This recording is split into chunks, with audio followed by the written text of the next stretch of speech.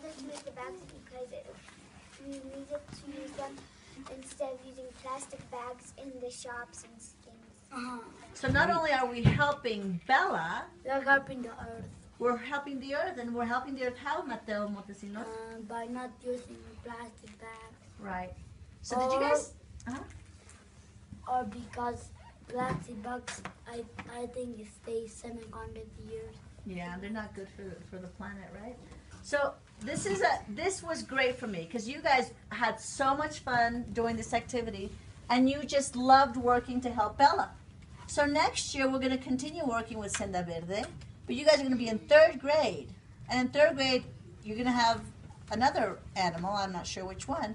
But this is something that you have to continue doing even when you're not doing it for Senda Verde. These are things that you need to work on to help the planet right?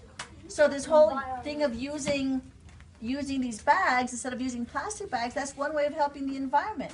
And you can also help Senda Verde by doing things like we did, like fundraising, right? Yes, Iker? My family right now, we don't have no plastic bags in my house. We only have the bags the monkey.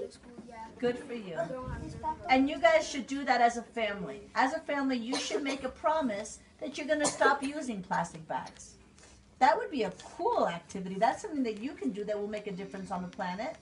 Yes? Um,